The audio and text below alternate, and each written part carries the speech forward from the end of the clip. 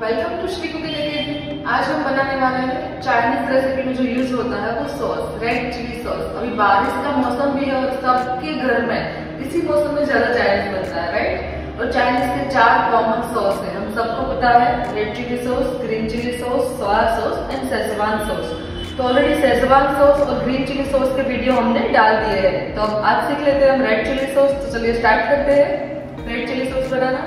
Red chilli sauce के लिए मैंने लिया है यहाँ पे दो बड़े चम्मच टू टेबल स्पून लाल मिर्च पाउडर यहाँ पे मैंने कश्मीरी पाउडर लिया है। अगर आप चाहो तो दोनों आधा आधा ले सकते हो।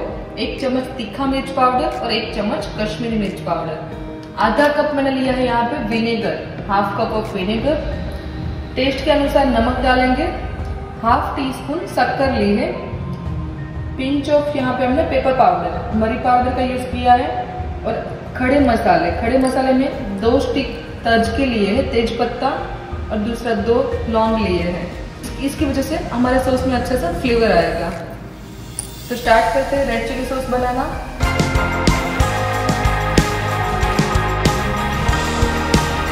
यहाँ पे एक पैन लिया है, उसमें हम सारी चीज़ों को मिला देंगे, उसके बाद हमको गैस चालू करना है।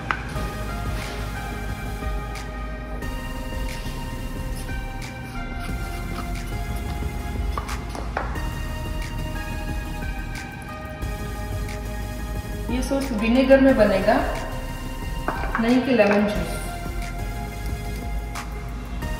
थोड़ा सा नमक डाल देते हैं।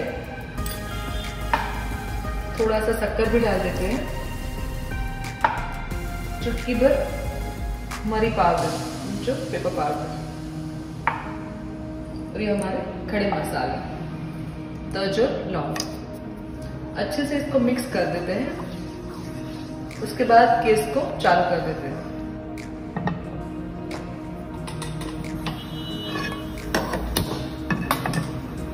इसको हम स्लो टू मीडियम आँच पे, जब तक ये गाढ़ा नहीं हो जाता तब तक कुक कर लेते हैं।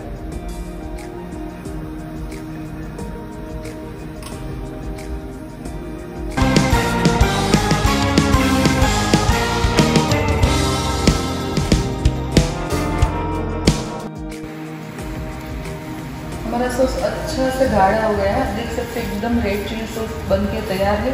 ऐसे मेरे स्पून में भी वो चिपक रहा है मतलब लाइक थिकनेस उसकी काफ़ी आ गई है। तो अभी हम गैस को बंद करते हैं। इतना थिक करने में मुझे तीन से चार मिनट का टाइम लगा। इसको अभी पूरा ठंडा होने देते हैं। उसके बाद हम सर्विंग प्लेट में ट्रांसफ़र कर लेंगे। रेड चिली सॉस एकदम ठंडा हो गया है। बिल्कुल रूम टेम्परेचर पे आ गया है। इसको हम एक बाउल में ट्रांसफ़र कर लेते हैं।